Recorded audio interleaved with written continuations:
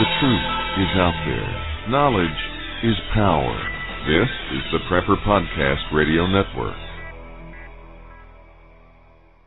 Don't get caught with your pantry down. Try the most delicious Just Add Water storable food from Go Foods. No GMOs, no preservatives, no trans fats, no hydrogenated oils, and a 25 year shelf life. Enjoy it today and save money. Share it with others and earn money. Store it for the future and invest your money. You can't find better food for less anywhere. Made in the USA and guaranteed 100%. Plus, try it for free and decide for yourself at www.lovegofoods.com. To try it for free, go to www.lovegofoods.com. That's www.lovegofoods.com.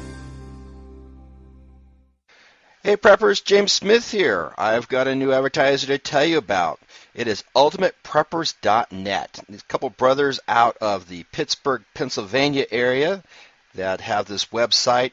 It's chock full of everything you need and at a decent price. Let me tell you, they've got a Mayday fanny pack kit for less than 30 bucks, a Guide 10 Plus Adventure kit for solar power, five man tent for $89, tomahawks, GPS, go bags, so much more.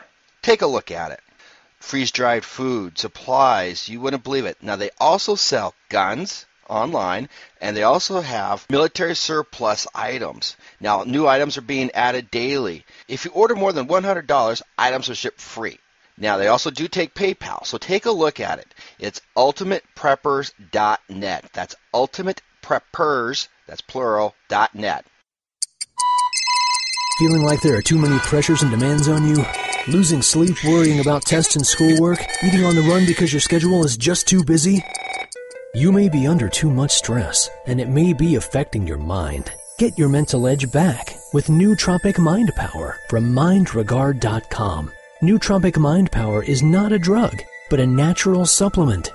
Its 12 powerful ingredients are natural and non-GMO, plus it's gluten-free, wheat-free, and formulated by Americans for Americans by an NSF certified laboratory. Nootropic Mind Power is available at mindregard.com spelled M-I-N-D-R-E-G-A-R-D dot com, and comes with a 100% money-back guarantee. Free your mind with Nootropic Mind Power Cognitive Supplement from MindRegard.com. MindRegard. Clearly see tomorrow and yesterday. Today. Are you storing food? Many preppers are storing food for months and years, but only have enough fuel stored for days or weeks.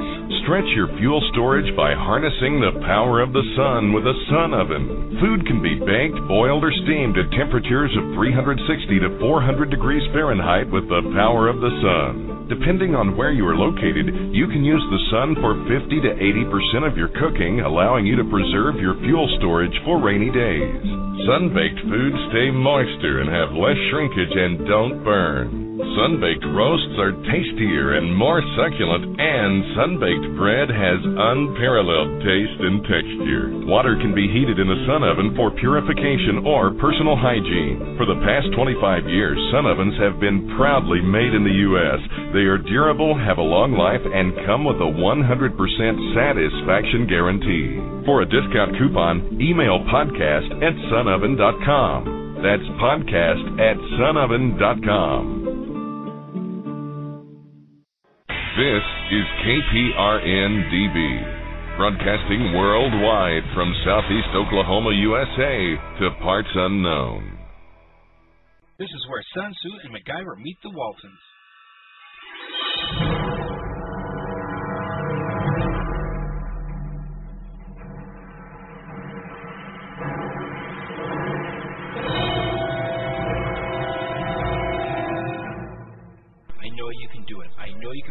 Yourself and for your family.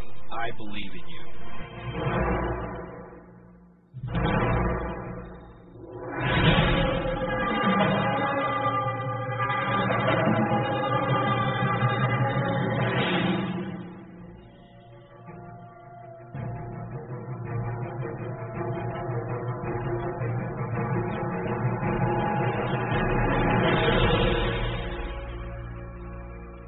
A crisis strikes, you need to reach down and check to see if you got the big boy or big girl underwear on because you know what? you're going to have to be an adult and you're going to have to step up the plate because you've got people depending on you.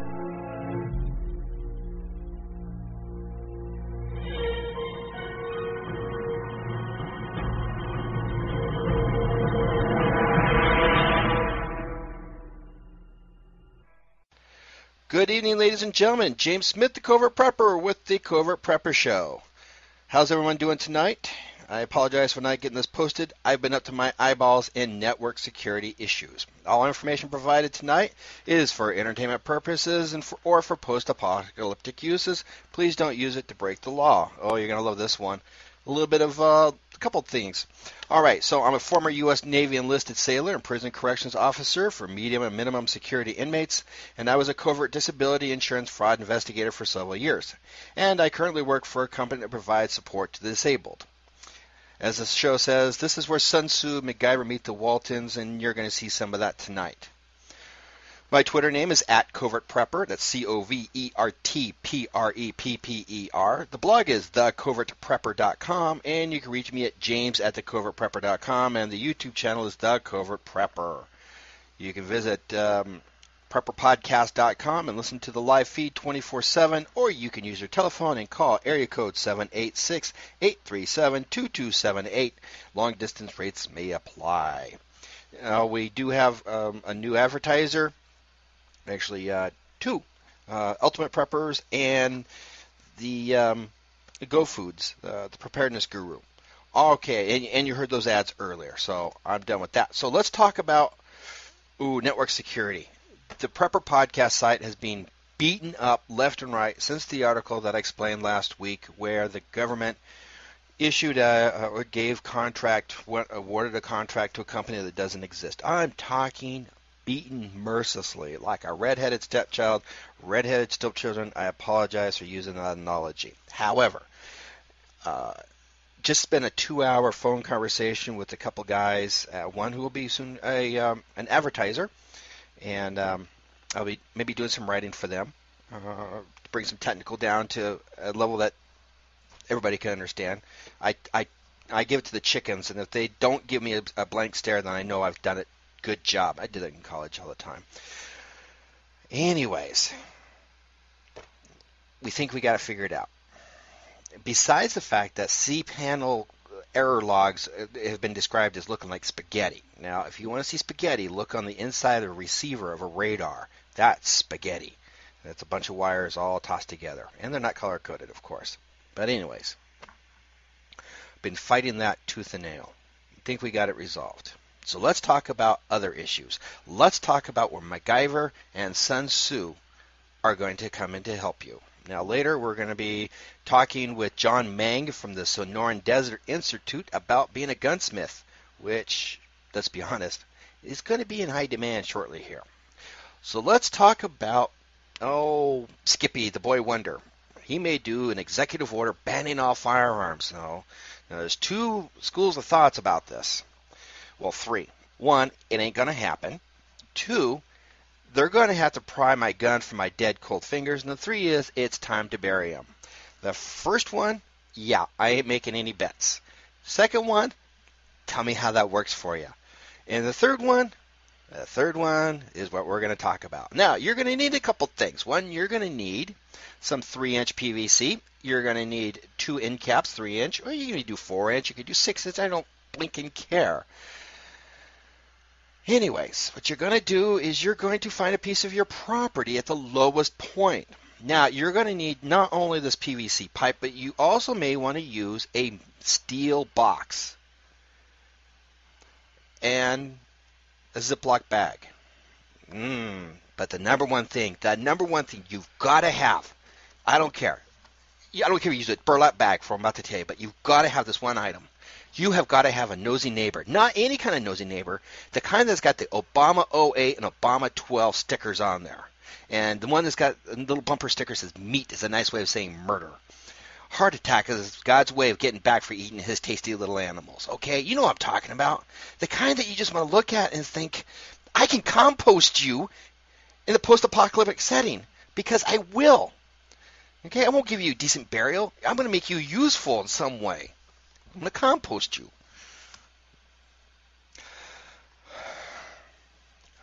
you need this person. You need this person more than you need that PVC piping. But we're going to take this PVC pipe and we're going to take a drill. We're going to take a 3 eighths, quarter inch, half inch drill bit. I don't care which. And on the one half level of it, okay, so you've got it right in front of you and you block it so it doesn't move. Maybe duct, duct tape it down. And every few inches, you're going to drill a hole. Not just one hole, but several. It's going to, this is going to look like a Swiss cheese job. All right. And you're going to put end caps on it. And then you you need to find the lowest point on your property. You don't glue the caps on, just stick them in there. Now you go to this lowest point of your property and you dig a trench roughly the same size as this pipe. But you have to do it a certain time of day. The time of day, the Miss Busybody, the little whiny little thing that you want to make into compost has to be making coffee and has to be seeing you kind of gauge when this is going on. You've got to figure it out. So, you take this PVC pipe, and when you walk it out to the lowest point and you dig this trench out, you're going to pretend it's heavy because there's nothing in there. And you're going to put it, you're going to dig this trench. Never let them see the holes. Don't let them see the holes. All right, so you put that trench in there, that, that pipe into the trench, remove one of the end caps rotate the pipe so the holes are on the top. Bury said pipe. Now you want to make it so that it looks like that pipe is there. And then um, you cover the dirt. You cover it with dirt. And if you see the busybody, you, you didn't see me doing anything out there recently, did you? No, no, no. Why? What were you doing? Oh, I was just putting a drainage ditch in. Yeah, we, we get some flooding in there once in a while. But don't tell anybody. I don't want to get in trouble with the borough or the county or whoever because I didn't get a building permit for it. You won't tell them, will you? Oh, no. So when it comes time for gun confiscation, what do you think Miss Busybody's going to do? Mr. Future Compost. He's buried his guns out there. It looked like he's got like a bunch of them because he was he was really straining to, to, to lift the, the the, the tube up, and it's right there. Look, look, look, right there. And so they're going to unbury it, and they're going to see a PVC pipe with a bunch of holes, acting as a drainage ditch. You were totally honest. You did not commit a crime. Now, that's one way you can hide your guns. What's another way? Oh, something easy. You need the steel box. Just a cheap steel box. Ziploc bag. Now, I'm not going to tell you what you're going to put in there just yet, but you have to do the same time of day. Make it a little heavier, you know, uh, maybe put a rock in there to start with, and then you drop it in there and you know on the ground and it makes sound and they can hear. And then what you're going to do is you're going to bury this.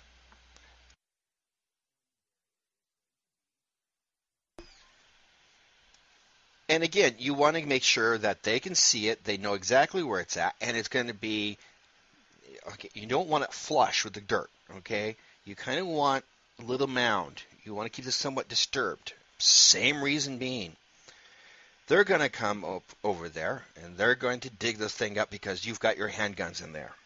You know, this may or may not happen. You just want to be ready you have to talk to your missus or your mister about this because this is very important. So they're going to open this box, and what are they going to find?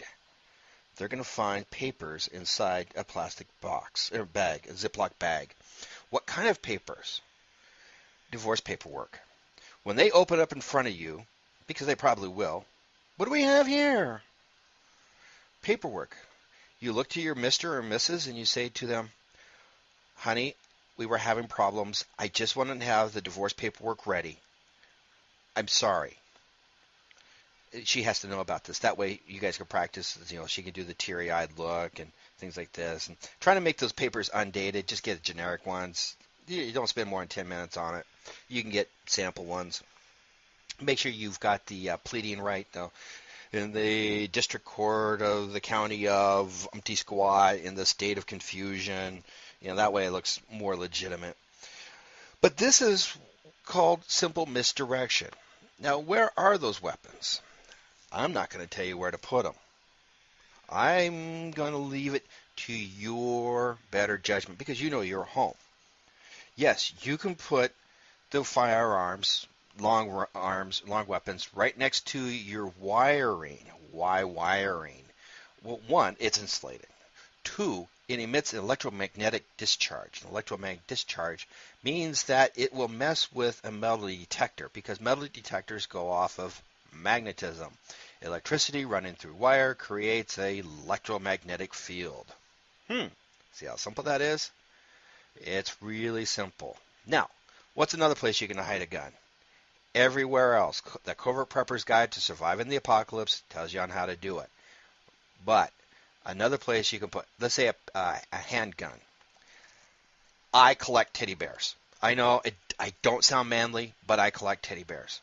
What do you think is in my teddy bear collection? Think about it.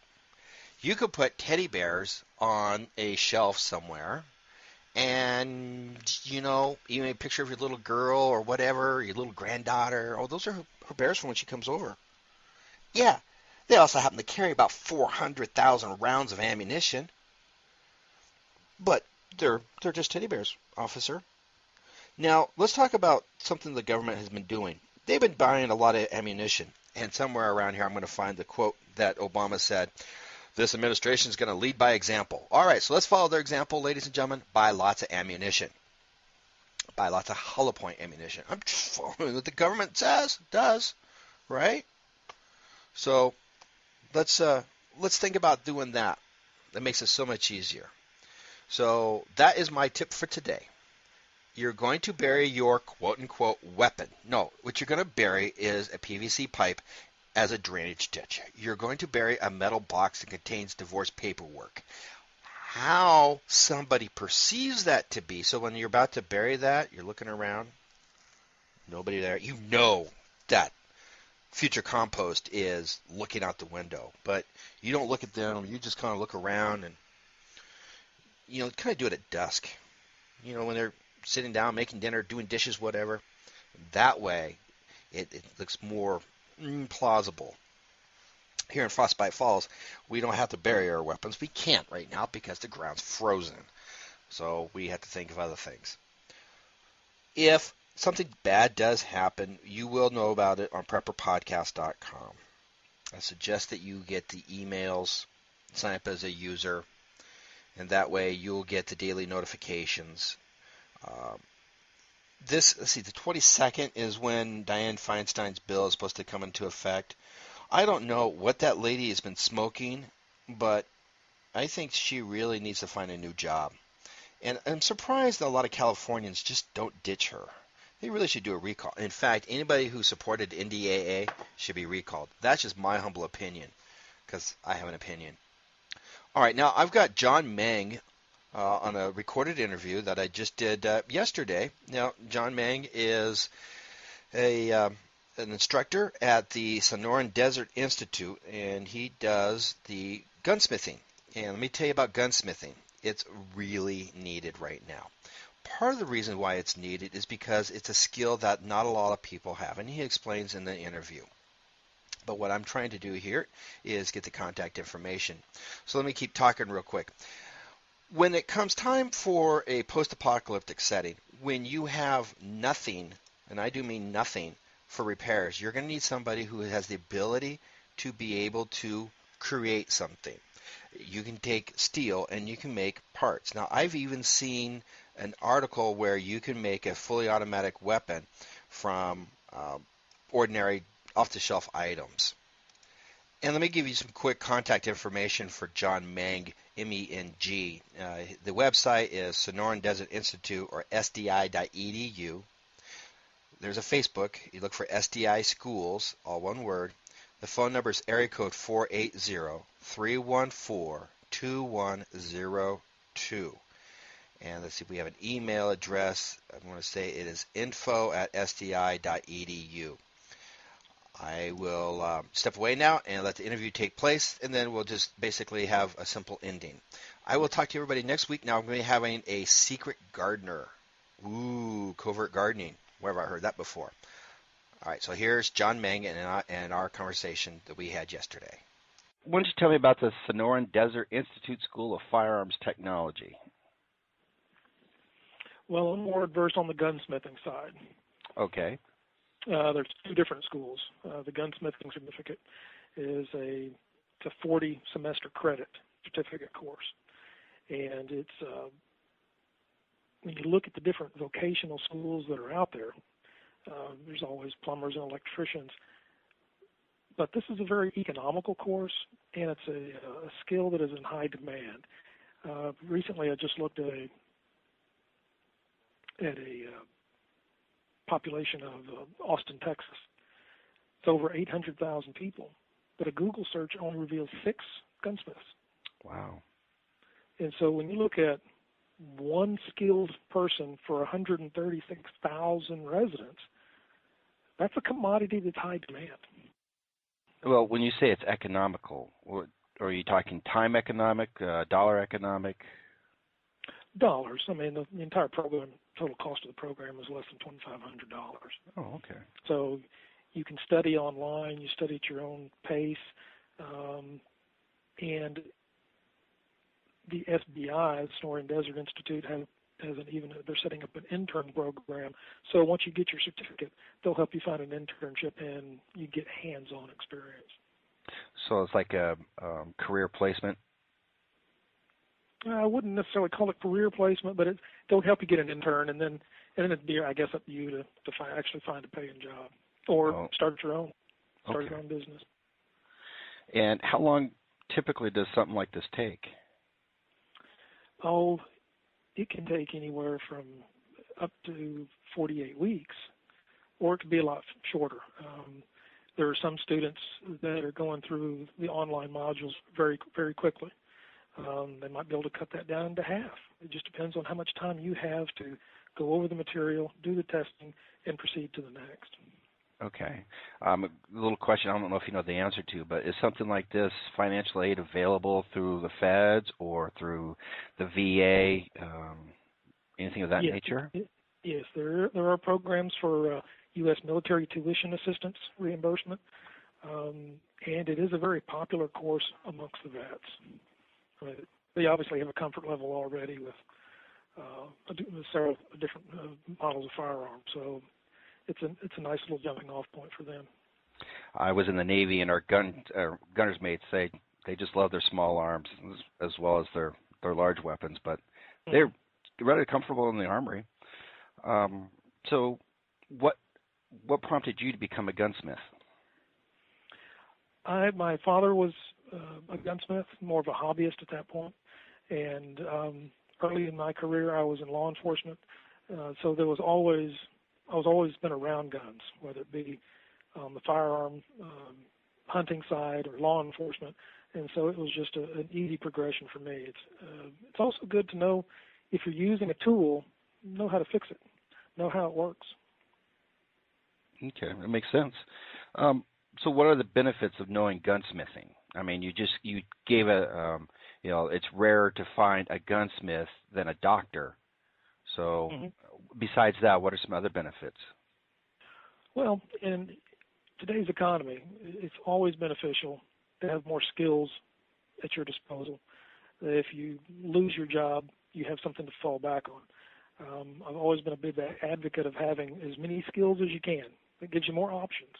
Um, so having gunsmithing as a career option, or even as a, as a, hobby that brings in a little money here and there, um, it, it's hard to beat that. I mean, if you love hunting, if you love weapons in general, uh, just as a shooter, as a competitive shooter, um, doing what you love to do and getting money at it is a perfect scenario. I think all of us would like to do that, no matter what that trade or skill happens to be. Do what you love, and say it's not work. Yeah, if you do what you love, it's you. You don't work a day in your life. Um, now, technically speaking, what exactly is gunsmithing? for those that have never heard the phrase or, or, or just don't know the definition? Wow, it is a very broad broad topic. Um, gunsmithing school will teach you everything from the history of firearms all the way to basic repairs, um, assembly, um, how to actually do woodwork or the rebluing of the metal, um, hand loading. Uh, we all know ammunition is getting more and more expensive, and there's no better way to cut some costs than to start reloading your own. Um, you can we will teach you how to fabricate your own wood stocks, um, how to make it on uh, iron sights and scopes and sling swivels. It's a very wide, diverse uh, field of study. And then at the end of it, you can decide whether you want to specialize in antique weapons or specialize in AR style. I mean, they're it, you're really left open to whatever you want to do once you have that basic skill set. Okay, so after I go through the course and I've got my certification and internship, is it difficult or easy, just about average to find a full time job? Well, you, you, there's, there's finding a job with a, a gunsmith. Uh, you can certainly do that. There are not that many of them out there, as we've already discussed. Uh, however, they have to take the interns, but the bulk of our graduates go into business for themselves. So they can they start as a hobbyist. Uh, they start doing work for friends or uh, colleagues somewhere else. Uh, they'll put up a little sign and just start doing work. So this becomes an extra, not an extra job, but it becomes it becomes their livelihood. Okay. See, um, I mean, I think about starting doing my own uh, reloads. Um, mm-hmm. My dad does them still, and uh, it's just I think a skill that I really need to pick up. And the price of ammo is going to be skyrocketing, and and to be quite honest with you, you know, it's brass is going to become really rare to find. So I figure I might want to collect it now instead of later. Now, some of the uh, modules you had said that are in there is like the bluing and the the stock making. Uh, how about fabricating the parts? You know, for example, on um, you know the little slide releases or the little pieces of metal. Is that part of gunsmithing? It is. Um, I can't say that there's full modules based that, that create that uh, that skill set for you. It is touched on throughout, and by the time you get through the course, you'll have a basic understanding of all the different parts. Um, so, and how to use some of the tools that you would need, uh, whether it be a, a lathe or uh, drill presses and everything else to make these uh, to make these pieces. Um, so again, this gives you the basic course. This gives you the basic. Uh, there are more advanced courses you can go. You know, you keep going, keep learning. Such uh, as the firearms technology. Uh, the course that you mentioned earlier, that's more of an advanced course. Which one? Uh, the firearms technology. Oh, okay. So, what exactly? What kind of modules are in that technology course? Um, again, I'm, I'm not. Uh, I'm not as well okay. versed on that one. All right, that's fine. Um, but we can find other we can find out by visiting the website, and that oh, yes. website is what? SDI.edu. Okay. Um, what kind of person makes the best kind of gunsmith? I think you would definitely want to have someone that is good with their hands. Uh, the more detailed oriented, the better. Mm-hmm. I think in in a lot of different ways, but just a basic understanding of the firearm and how it works is is the essential ingredient, and just being good with your hands a little bit. It's it's it's not brain surgery. Thankfully. Now, um, how about women? Are there a lot of women gunsmiths? You know, I don't know what the demographics are, but my gut tells me that there's going to be more men involved in this industry than than women. Okay. Does are you aware if, if SDI is actively encouraging women to apply for the course, or is there um, something that, that might entice women to become gunsmiths? I do not know of a specific campaign directed, targeted directly at women. Um, the campaigns that uh, SDI has uh, put out has been broad stroke, just anyone that is interested.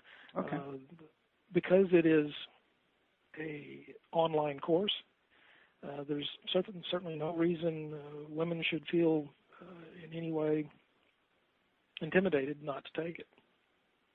Well, the reason I ask is because my wife had um, a long history doing um, very small mm-hmm. technical work, um, you know, assembling cell phones and things like this, making transformers, and so she's very good with her hands when it comes mm-hmm. to the fine movements. And I was thinking perhaps you know uh, women might actually kind of really benefit from a course like this. We have a lot of mm-hmm. women listeners, and so I, I'd like to encourage them to um, pick up a skill like too. this. I would too. So, all right, um, let's see. How many? Uh, let's see. Now you said there's only six in in, um, in San Antonio. Roughly, do you know how many are in the nation that are? I do not. Gunsmiths? I have tried to pull some numbers on that, but I don't know that there's anything that's uh, comprehensive enough to give us that um, give us that data. There, you could get data on the number of federal firearm licenses that are out there, um, and SDI will help a, gunsmith when they graduate uh, get that FFL because certain work will require that that license. But I don't. But I don't know. Oh, okay. Uh, every gunsmith I mean, you could take the course and not have to have a federal firearm license. But if there's certain work you're going to do for a paying client, yes, you would have to have it. Oh, okay. Um, so we can find you at, um, at sdi.edu, and you've provided other contact information, which I'll put on the website. Um, if you had a choice between doing gunsmithing or anything else, would you um, would you call this like your life's vocation? anything else is pretty broad category. Yeah, well, you know, I'm thinking gardening. You know, I, I like gardening, but oh, I'm I'm a master uh, of a lot of trades, but no, gunsmithing is from an economic sense, it makes great sense to study it and develop that skill simply because your competition out in the marketplace is very small. Uh, it's not like you're learning how to be a plumber and then you have to go into the marketplace and compete with a thousand different plumbers looking for looking for business. If you become a gunsmith, people will come to you. You are a destination service. Plus, if you enjoy it, no. like like we said, yeah. uh, if you enjoy the work, it's not work.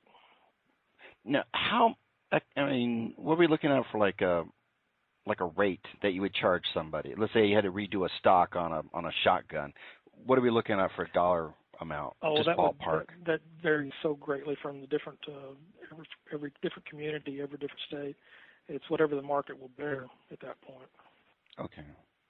Well, let's say, for example, um, somebody's got a Remington shotgun and needs replaced, and they need their, you know, they've got a cracked stock, and you know, um, I take it you would show me on how to you know, redo the stock according to the Remington manufa- uh, specifications. Is that about right? Or it could be, or it could be custom specifications, whatever the whatever the client wants. Okay. Now I did read something um, recently that the I think it's Feinstein's bill wanted to get rid of the thumb stocks on rifles and you know other firearms. Um, what do you think about that? I think what is happening right now uh, on a national level regarding guns is a travesty of justice. It is anti-liberty. It is anti-constitution, and it is scary uh, the amount of frenzy that is going on right now. You, you said the right word because it's being a feeding frenzy. I mean, holy Moses! Not just not just at the at the political level, but it's hard to find ammunition. I went to Walmart, and um, there's the hunting um, section, and then there's everything else, and the, everything else is is emptying out. And this is hunting season right now, so it's it's well, rather frightening. We, we basically have two frenzies going on. We have a media and government frenzy over what they what they term as gun violence, and we have a consumer frenzy buying up every gun and box of ammunition they can because they're afraid that suddenly we're going to get executive orders banning these products. Um, and I would like to make one statement regarding the term gun violence. Uh, personally, and I'm not speaking for SDI on this, but um, they may back me up 100%, but personally, I reject the term gun violence. We do not hear about hammer violence or knife violence or baseball bat violence and recently we had the we had the murder in Illinois lottery winner. You know, do we now have a, a rise in Chicago for cyanide violence? I mean, the term gun violence is a progressive catchphrase to, to spur the anti-liberty agenda, and violence is violence. Period. And our focus really should be on the acts, not on the tools. You're absolutely right because I'm waiting for them to ban box cutters and soon they'll be banning cliffs because people can be That's pushed right. off a cliff. Ban all cliffs. and sharp, pointy things, and you're absolutely right. And, and when you allow somebody to set the definitions like gun violence, um, yeah, everybody's got to be called on that. You know, it's not gun violence; it's people on people violence. And on the very same day that 20 children were killed, 22 children were killed in China mm-hmm. with a knife. And it's not the gun that killed the person, it's not the knife that killed the person, it's the crazy person, the angry person that killed. And that's part of what we need is an education throughout not only the the firearm industry, but is among the general public. Guns are a tool. They can be used for recreation. They can be used for self-defense. They can be used for hunting. Put food on the table. They are a tool, and that's all they are. Um, in our society today, some in some areas, gun owners are being treated like second-class citizens. That there's something to be fearful of, something to be worried about. That every gun owner is a crazed madman out there, and it is simply not the case. And the only way we can truly defeat that is through education. I'm thinking of uh, Mr. Obama's. Uh, he's got the secret uh, protocols for declaring on who can be killed by drones in Pakistan and everywhere else. And I want to make this little graphic of a predator drone. It says Obama's signature has killed more people than my mm-hmm. firearm. And it, it's totally just amazing me that no one cares that he's got this power. Well, there's that, and, and I think we Ted Nugent. I want to make sure. I attribute Ted Nugent. I mean, he he said it best here recently when he said, "If guns kill people, mine are defective." Yes. Mm-hmm. Yeah, so are mine. But they have put some holes in some pieces of wood, and thankfully they, they they're capable of doing that. All right. So, um, what kind of contact information are you comfortable sharing with my listeners? Well, I think if uh, they'd like to learn more about uh, gunsmithing, uh, go to sdi.edu. Uh, you can email info at sdi.edu. And you said you, you uh, gave you a phone number earlier that you're going to post on the website 480 314 2102. Okay, and you guys have a Facebook page already. I see that, and I probably should like that just so we get that taken care of. But um, um, you've got a product, you've got a service, you've got a concept, and people need to know about these. Well, if there's anything that I can ever do for you, um, or or SDI can do for you, please let me know. Are you sick and tired of having your First Amendment harassed or censored on Facebook? Use no more as we now have a new alternative to Facebook. It's called Awareness Act. Awareness Act is a social network designed for patriots, to be used by patriots, and is ran by patriots. Stand up and help in the fight to protect your constitutional rights. Patriots can create pages, blogs, videos, documents, articles, and so much more. We even have a unique news feed system that allows you to share, read, or connect with any patriot on Awareness Act. We are a dedicated tool for patriots to use against the tyranny our Constitution is facing. So if you're tired of having your rights infringed upon, come check us out at www.awarenessact.com. Again, that is www.awarenessact.com, the social network for patriots, not potatoes. Whether you take I know that I can be. Whether you see me eye to eye. This is KPRN-DB, broadcasting worldwide from southeast Oklahoma, USA to parts unknown.